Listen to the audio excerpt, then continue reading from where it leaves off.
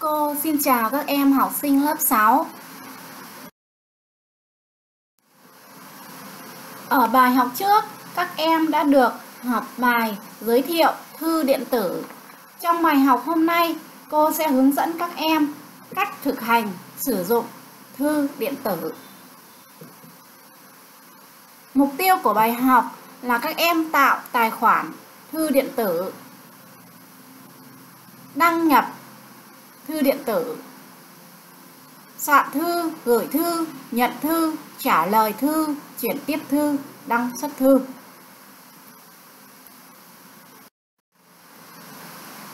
Các em cùng tìm hiểu phần một nhỏ Tạo tài khoản thư điện tử.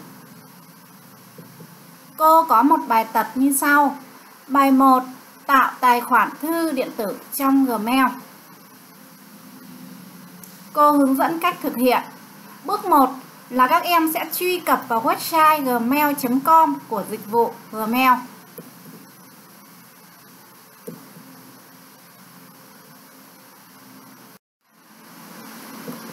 Bước 2 là các em chọn mục tạo tài khoản và điền đầy đủ thông tin như trong ảnh và chọn tiếp theo.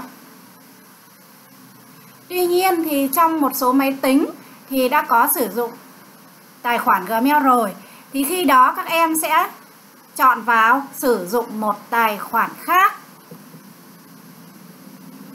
Sau đó các em nhấp chuột vào chữ tạo tài khoản Sau khi các em đã chọn mục tạo tài khoản thì các em điền đầy đủ các thông tin như là họ, tên, tên người dùng, mật khẩu xác nhận và các em chọn tiếp và từ tiếp theo.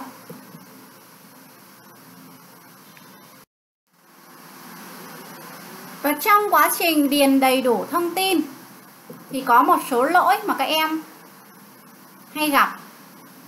Cô ví dụ như là tên người dùng này không được phép. Tên người dùng này đã được sử dụng. Vậy khi đó các em sẽ làm thế nào?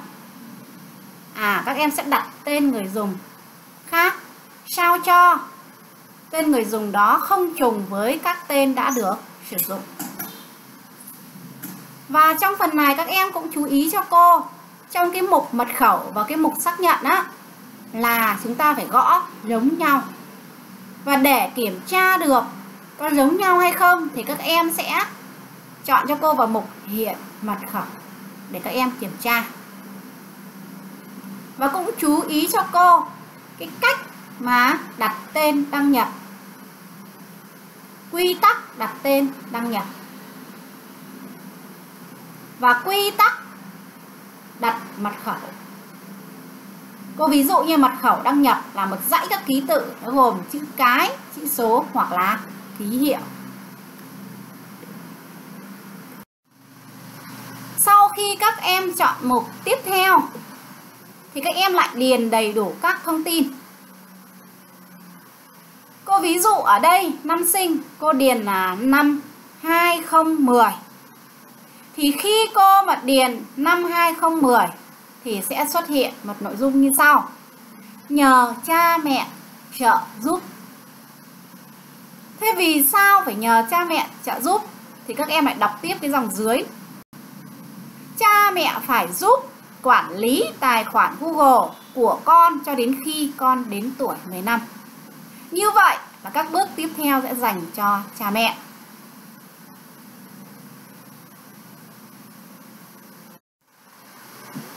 Vậy thì nếu cô điền năm sinh là năm 2006 thì khi đó cô sẽ tiếp tục thực hiện bước bước 3. Bước 3 ở đây các em cũng điền đầy đủ các thông tin. Và khi điền đầy đủ các thông tin rồi, các em sẽ chọn vào cái mục là tôi đồng ý để các em hoàn thành việc tạo tài khoản thư điện tử. Sau khi các em tạo được tài khoản thư điện tử, các em tiếp tục thực hành phần 2 nhỏ đăng nhập, soạn và gửi thư điện tử. Và ở phần này cô có một bài tập như sau. Bài 2. Soạn và gửi thư điện tử trong Gmail. Em hãy dùng tài khoản của mình soạn thư chúc mừng sinh nhật và gửi cho giáo viên hoặc là bạn của em. Cô hướng dẫn thực hiện như sau.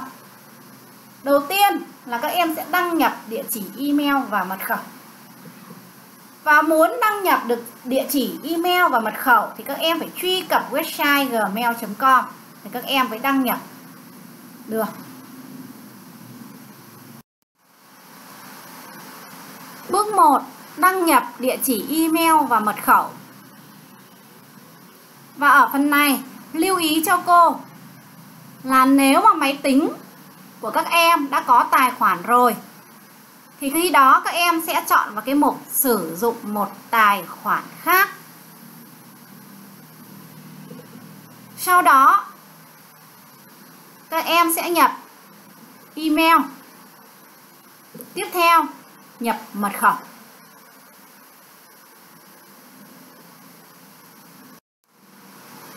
Sau khi mà các em đăng nhập địa chỉ email và mật khẩu thành công thì các em chuyển tiếp sang bước 2 đó là soạn và gửi thư.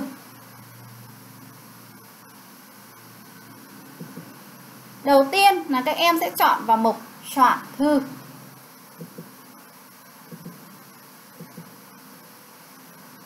Tiếp theo là các em sẽ nhập địa chỉ email của người nhận thư.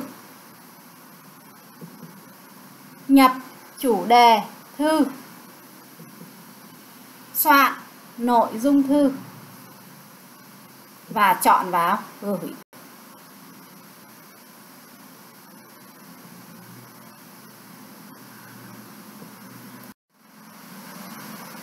và đây là một cái hình ảnh cửa sổ soạn thư đã được gõ địa chỉ người nhận chủ đề nội dung. Và có chọn và gửi tệp đính kèm các em có thể tham khảo thêm Vậy thì khi các em nhận được một email thì các em sẽ làm gì tiếp theo?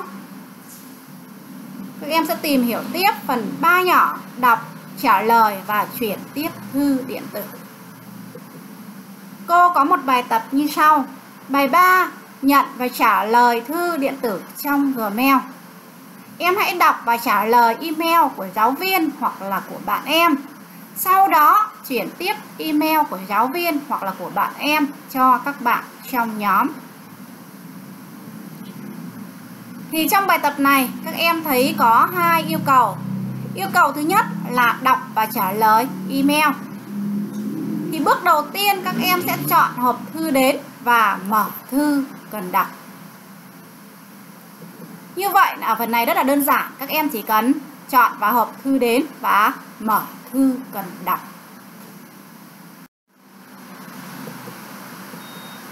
Bước 2 là các em chọn mục trả lời và soạn nội dung trong cửa sổ trả lời. Sau đó các em chọn vào gửi. Các em thực hiện tiếp yêu cầu 2 đó là chuyển tiếp email. Thì bước 1 các em cũng mở thư cần đọc. Bước 2 là các em sẽ chọn vào mục chuyển tiếp. Sau đó, các em sẽ nhập địa chỉ email cho cái người nhận. Các em soạn thêm nội dung thư nếu các em cảm thấy cần. Và sau đó các em sẽ chọn vào gửi. Vậy thì sau khi các em đã soạn và gửi thư xong thì bước, bước tiếp theo các em sẽ làm gì? À, đó là đăng xuất hộp thư. Và để đăng xuất được hộp thư thì các em sẽ nháy chuột vào ảnh ở góc trên bên phải để nó xuất hiện. Cửa sổ đăng xuất tài khoản thư. Và các em sẽ chọn vào nút đăng xuất. Với các kiến thức mà các em vừa học, các em thực hành cho cô bài tập như sau. Em hãy tìm một bưu thiếp. Chúc mừng ngày lễ Giáng sinh trên Internet. Và gửi tặng bạn qua hộp thư Gmail. Cô gợi ý như sau. Thì các em dựa vào gợi ý của cô để các em thực hành.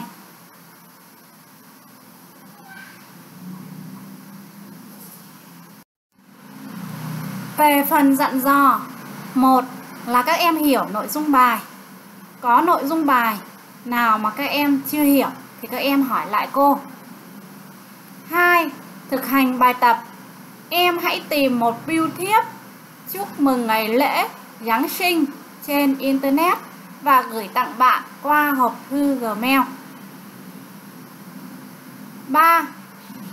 Là trong buổi học của tuần 16 các em sẽ làm bài tập, ôn tập, trắc nghiệm trên đường link cô sẽ gửi lên hệ thống lớp học.hcm.edu.vn